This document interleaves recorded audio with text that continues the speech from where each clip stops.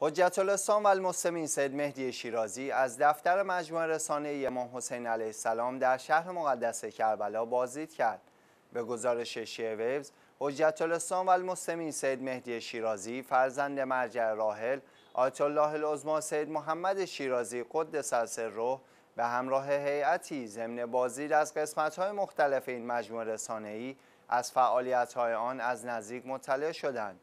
در این دیدار مدیر مجموعه رسانه امام حسین علیه السلام شیخ مصطفی محمدی شرح مفصلی از کم و کیف فعالیت های گوناگون این مجموعه در خدمت به اسلام ناب محمدی و مذهب شیعه اصناعشری به هیئت نمایندگی دفتر مرجعیت شیعه ارائه کرد.